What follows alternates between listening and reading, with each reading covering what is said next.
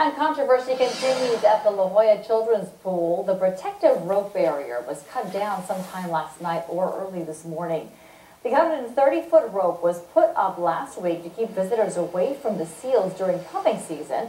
Advocates who said they're trying to protect the seals from human harassment said that they believe they know who's responsible.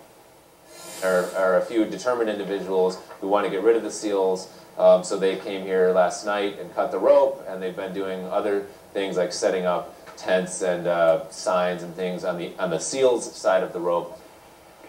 He says the city has never enforced the city council's ruling, which says the beach is to remain closed for the duration of the pupping season.